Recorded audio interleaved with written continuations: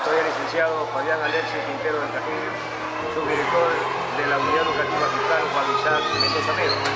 En esta oportunidad, pues, dando testimonio de nuestros sinceros e imperceberos agradecimientos a nombre de los directivos, personal docente, docentes, padres de familia y estudiantes, a la Refinería del Pacífico por su valiosa colaboración eh, al dotarnos de mobiliario, el cual pues redundará que se educa en este cantón.